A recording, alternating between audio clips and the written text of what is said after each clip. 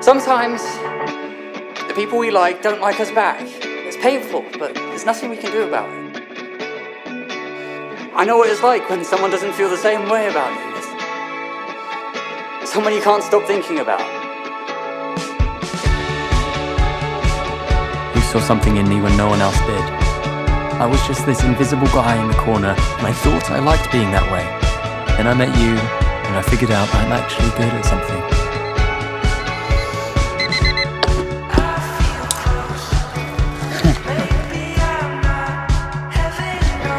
Um, Maeve Wiley's coming straight over here.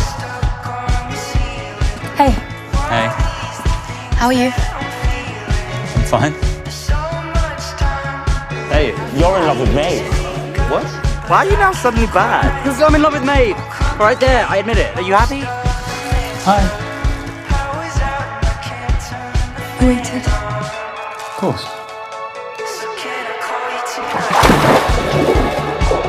You, you're here. Dude, you're here.